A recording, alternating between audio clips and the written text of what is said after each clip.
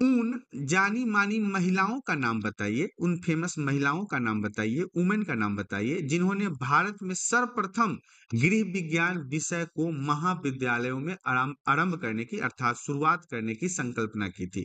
यहाँ पे आपको उन महिलाओं का नाम बताया, बताना है, उन लेडीज़ का नाम बताना है, उन वुमेन्स का नाम बताना है, जो भारत में विश्वविद्यालयों में गृह विज्ञान जैसे सब्जेक्ट को पढ़ाने के लिए ज़ोर लगाया था।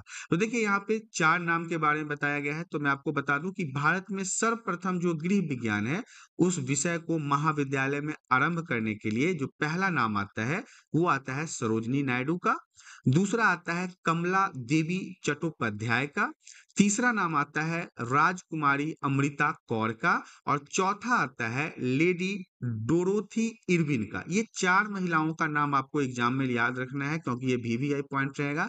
यही चारों महिलाएँ हैं जो भारत के अंदर विश्वविद्यालयों में गृह विज्ञान जैसे विषयों को शुरुआत करने के लिए अपना योगदान दिया था।